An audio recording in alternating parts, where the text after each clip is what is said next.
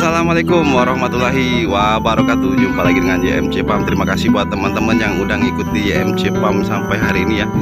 Ini kandang indukan yang YMC Pam kemarin bilang ya Sudah jadi. Ngereyeh ya sedikit demi sedikit. Beguyur baik bahasa Palembangnya Iya. Dan sebelah sini nanti akan kita buat lagi ya Akan kita buat lagi. Tapi ya bertahap ya Bertahap baru selesai satu ya untuk kandang indukannya. Dan coba kita review kandang ini ya yang baru kita buat. Uh, sementara masih empat indukan. Kita mau mencari membuat indukan yang bagus ya inbreed ya inbreeding ya. Tuh itu satu jenis pelung semua kita akan bentuk indukan karena yang lain yang lain di sini. Di sini yang untuk persilangannya pada angkrem ya udah pada nelor semua ya. Kalau kita pindahin ke sana nanti akan mengganggu daripada proses mereka bertelur ya biarkan saja mereka uh, melakukan tugasnya menyelesaikan tugasnya untuk mengangkrem dan bertelur ya. Jadi kalau udah selesai baru kita ambilin telurnya atau nanti kalau udah mentas kita ambilin anaknya dan kita akan sambil membuat kandang yang di bawah sini ya. Sambil ngereyeh ngereyeh kita akan buat kandang ngebas ini tapi yang udah selesai akan kita review hari ini ya. Review kandang indukan ya tuh jadi kandang indukan ini memiliki pintu dengan panjang dengan lebar 60 cm ya. Untuk uh, panjang ininya sendiri panjang pintunya sendiri itu tinggi pintunya ini itu sekitar satu meter setengah ya. Satu meter setengah jadi kita bebas apa keluar masuk itu jadi legah ya. Leluasa untuk keluar masuk ya. Untuk wadah pakan sendiri kita taruh di sini wadah pakan sendiri itu kita taruh di luar jadi enak ya. Jadi buat kita yang punya aktivitas. Memerlukan waktu cepat jadi tinggal kita tabur di depan ya. Juga untuk kebersihan kandang di dalam juga lumayan bisa bersih ya. Kalau pakannya di, di luar sini ya. Kalau pakannya di luar sini Insya Allah untuk pakan yang bertabur-tabur di kandang itu jadi aman ya. Paling nanti kita bersihkan kohenya aja kotorannya. Itu ya kalau indukan 5 atau 4 ini enggak terlalu kohenya enggak terlalu cepat uh, membuat timbungan amoniak ya. Timbunan amoniaknya enggak begitu cepat karena indukannya ada 4 atau 5 ya. Uh, jadi untuk uh, lebar sendiri lebar sendiri kandang ini ini sekitar uh, 2 meter ya. 2 meter 2 meter lebih dikit. Dan untuk panjang sendiri kita lihat ke dalam kita buka pintunya. Untuk panjang sendiri ini sekitar uh, eh, 5 meteran ya. 5 meter sepanjang 5 meter. Jadi kemarin kita bongkar ya kita bongkar semua.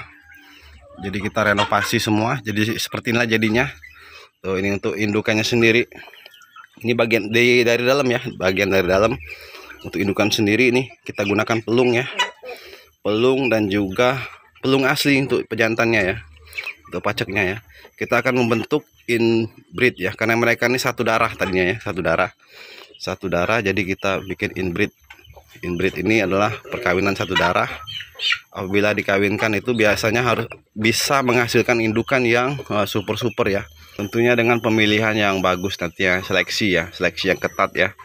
Untuk pemilihan indukan ini udah besar-besar benar indukannya weh udah siap menelur semua dan ada udah yang nelor ya dan untuk petarangannya sendiri baru kita bikin satu yang nanti akan kita bikin satu lagi sekitar dua tempat petarangan telur ya. Di sini tempat petarangan petelurnya kita buat sederhana ya tidak membuat apa dari apa dari ember atau dari apa tapi cukup dengan dari kayu ini ya. Ini juga kayu bekas kayu bekas coran itu dan kita buat dan hasilnya seperti ini. Ayamnya cukup nyaman dan di sana kita tutup biar dia nggak terlalu terang ya. Nggak terlalu terang jadi kita tutup terus kalau kena ada angin atau hujan dia tidak terkena angin atau hujan ya aman ya. Tuh. Jadi telur petarangan ini kita bikin uh, dengan kemiringan sekitar setengah senti ya atau satu senti.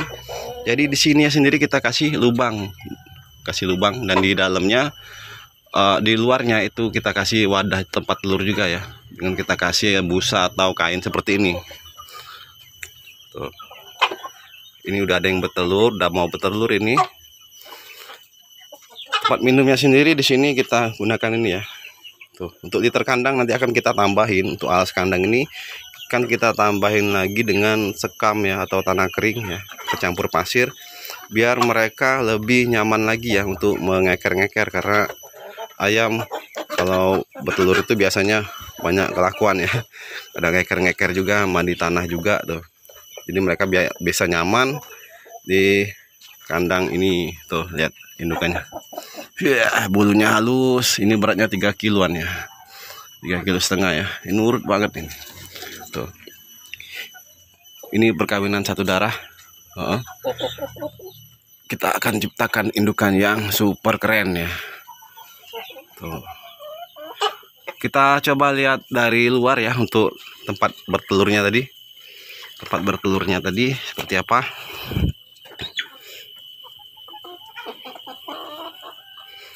Tuh. Jadi di sini tempat bertelurnya di sini sengaja dikasih lubang agak lebar dikit ya. Nanti biar kita bisa setting tempat bertelurnya biar lebih mudah untuk keluar ya. Pas gitu ya. Tuh jadi kita tutupin pakai kantong ini. Jika teman-teman ini bisa pakai karung juga bisa. Apa aja yang dekat ya. Apa aja yang ada di rumah ya. Terus di sini ya kita kasih ini. Ini sebenarnya nggak dikasih nggak apa-apa tapi biar lebih nyaman aja ya. Biar nggak kena hujan telurnya juga aman. Karena kita waktunya banyak bekerja juga ya. Buat teman-teman juga pasti gitu. Bekerja juga di luar memiliki pekerjaan pokok dan hobi dengan ternak ya jadi jangan meninggalkan pekerjaan pokoknya hobi tetap jalan dan bekerja tetap harus.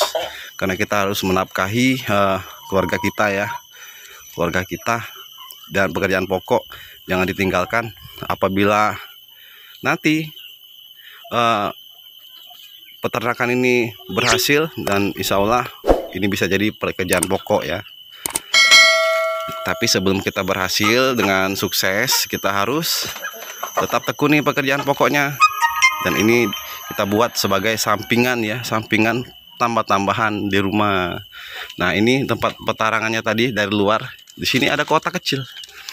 Ada kotak kecil tuh. Di situ ada lubang. Jadi dia dengan kemiringan satu senti atau setengah senti tadi ketika ayam itu bertelur dia ngelinding nih. Dia meluncur ke sini telurnya. Tuh udah dua telurnya. Tuh udah dua telurnya biarin aja nanti dia bertambah lagi. Dan jika menggunakan sistem ini sebaiknya teman-teman mempunyai mesin penetas ya kan? Mesin penetas. Di tutorial video lain di video lain pernah IMC Pam buatin cara mesin cara membuat mesin penetas ya. Jadi peternak yang maju peternak ayam yang maju atau mendekati maju sampai harus bisa uh, mengembangkan teknologi ya mengembangkan teknologi atau me mengapa ya namanya? Harus bisa memanfaatkan teknologi ya. Jadi biar kita bisa produksi banyak ya kan? Tuh. Jadi telurnya ini ada sekian berapa nanti kita kumpulkan. Setelah itu kita masukkan mesin penetas biar produksi kita lebih banyak untuk DUC ya kan? Tuh. Jadi tugas mereka ini bertelur bertelur dan bertelur. Jadi jadi untuk mengeraminya dia kita kita bisa gunakan mesin penetas apabila teman-teman sudah melakukan hal itu berarti teman-teman sudah mendekati maju ya kan? Mendekati maju. Bukan berkembang lagi ya. Karena bangsa yang hebat itu bukan bangsa yang berkembang tapi bangsa yang maju. Kalau dia masih berkembang itu berarti di levelnya di bawah maju. Nah oke okay, teman-teman dan di sini kita nanti akan buat ya. Buat nah, kita buat dengan bentuk yang sama dengan bentuk yang sama seperti ini biar enak dipandang ya estetika penglihatan ya. Tuh buat konsumsi publik juga enak. Dan di sini juga akan nanti kita bentuk untuk uh, pembesaran untuk pembesaran anakan ya. Terus apabila mereka sudah siap untuk dilepaskan kita lepaskan. Jadi di sini untuk anakan sendiri nanti akan kita umbar. Ketika indukan dan yang besar-besar ini kita kurung ya. Kita kurung sebagai indukan. Karena apa? Kalau yang besar-besar ini masih berkeliaran di luar sini nanti bisa berbahaya buat yang kecil-kecil. Mereka akan uh, cedera ya sama yang besar-besar. Nah setelah ini selesai masa tugasnya yang untuk persilangannya ya. Untuk persilangan ayam pelung dan ayam kampung ini ini yang nanti hasilnya akan persilangan karena ini pacaknya uh, pelung ya persilangan. Dan persilangan itu hasilnya seperti ini. Tuh ini yang udah aku lepasin ya yang sudah aku lepasin. Kalau umur segini udah kita lepasin tuh. Udah kita lepasin biar mereka cepat tumbuh besar biar mereka cepat tumbuh besar. Kalau dia di kurungan terus dikurung terus itu uh, untuk perkembangannya saya jamin nggak mungkin bagus. Nggak mungkin bagus. Sekuat apa pun pakan anda apabila ayam kampung itu dikurung sampai tiga bulan itu nggak bakal bagus. Saya nggak jamin dagingnya juga bagus ya kan? Karena sifat alamiah daripada yang diserap oleh tubuh ayam ini itu kurang karena semuanya semua pakan pabrikan atau pakan buatan mereka kurang me, menyerap nutrisi alam seperti ada bebatuan, ada cacing, serangga dan segala macam ya yang ada di alam. Jadi rasanya tentunya juga beda. Tapi kalau ayam ini setelah umur segini kita lepaskan, perkembangannya akan cepat bener. Dan juga dagingnya juga luar biasa. Rasanya ya kan? Rasanya luar biasa. Kenapa? Dia sesuai dengan alamnya. Itu yang dicari daripada ayam kampung ini. Ayam kampung apabila dikurung sampai panen karena apa ya? Karena IMC kayak gini karena apa? Bicara seperti ini karena sudah pengalaman pengalamannya udah, udah pernah ya kan membesarkan ayam kampung di dalam box terus itu sampai panen. Memang bisa besar tapi rasanya tetap berbeda dengan ayam yang diumbar ya kan atau semi umbaran karena apa? Karena dia menyerap uh, sistem alamiah ya kan menyerap makanan alamiah selain daripada pakan pabrikan atau pakan buatan yang kita buat itu tuh seperti dedaunan dia bisa makan itu kan. Jadi apa yang dihasilkan dari daging ayam tersebut? Pasti spesial banget ya kan? Spesial spesial banget. Tuh. Nah jadi jika selesai ini nanti kapan-kapan kita akan bahas tentang ayam ayam ini ya ayam yang diumbarin ya. Kita pakai semi umbaran nah, nanti kalau ini udah menetas atau sudah selesai bertelur ataupun selesai daripada kandang sebelah ini akan kita ambil akan kita ambil ya. Terus kita indukannya akan kita kurung. Dan untuk ayam-ayam kecil ini akan kita bebaskan ya kan? Nah seperti ini yang besar ini akan kita kurung semua nanti. Itu untuk bakal pacekan ya. Tuh itu bangkok masih umur 4 bulan. Dan akan kita jadikan pejantan nanti. Tuh ya kan? Eh buat teman-teman jangan bosan-bosan ngikutin MC Pam. Karena apa yang dilakukannya MC Pam akan MC Pam jelaskan ya di konten-kontennya ya. Dan semoga itu menjadi inspirasi bagi teman-teman juga. Tuh di sini di sini ini kita buat kandang semi umbaran. Tuh semi umbaran jadi untuk yang kecil-kecil cepat benar besarnya apabila diumbar seperti ini. Dengan catatan selagi kecil 0 sampai satu bulan atau satu bulan setengah kita tetap kurung. Tetap kita kurung. Tuh. Kurungannya seperti ini. Tuh. Atau seperti ini. Tuh. Bisa di dalam seperti ini, di kandang seperti ini bisa ya bisa besar sampai uh, satu kilo ya. Dengan catatan dua bulan setengah dia udah satu kilo kalau untuk bibit IMC pump tapi rasanya tetap beda. Rasanya tetap beda dengan yang kita keluarkan seperti ini. Tuh pasti beda. Pasti beda rasanya. Rasa dagingnya ya. Tuh.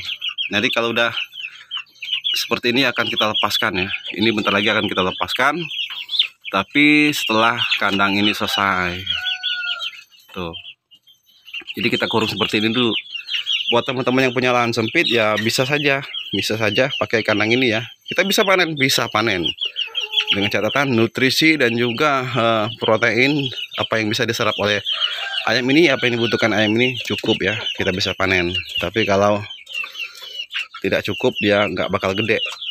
Dia bisa gemuk di usia satu sampai satu satu bulan sampai satu bulan setengah ya. Untuk berikutnya dia memiliki nutrisi lebih dari alam biar badannya bulat dan ototnya bagus serta tulangnya itu jadi banget.